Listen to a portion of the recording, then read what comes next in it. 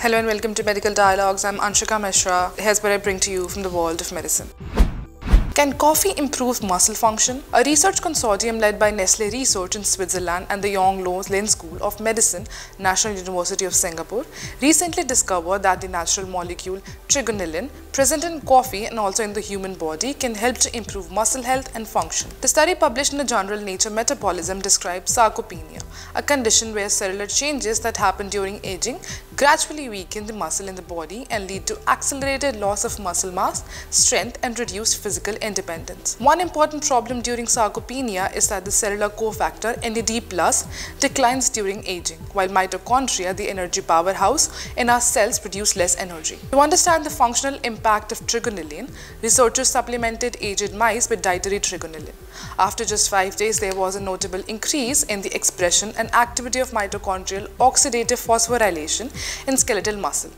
Over a 12-week period, dietary trigonelline supplementations raised trigonelline level in plasma, liver and muscle without any signs of toxicity. Further, chronic trigonelline exposure significantly boosted NAD plus levels in the liver, which significantly increased the grip strength of the forelimb muscle in aged mice. Are you also aspiring to excel in medical journalism and delve into the intricacies of health and medical reporting? Explore our comprehensive course on medical and health journalism available at the Medical Dialogues Academy. Learn from industry experts who possesses in-depth knowledge and experience in this field. For further details, scan the QR code provided or access the link in the description box below. The findings indicated that chronic trigonelline administration mitigates muscle decline during aging by stimulating mitochondria and increasing muscle performance and resistance to fatigue during high intensity, intensity contraction.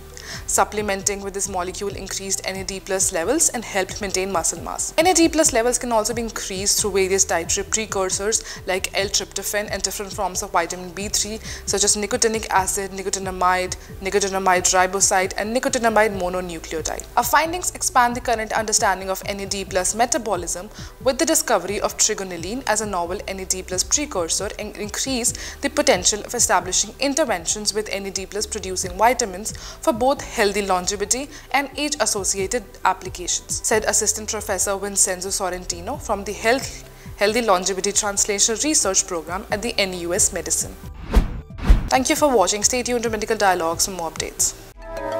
Never miss a medical update from Medical Dialogues. Like, subscribe, and press the bell icon.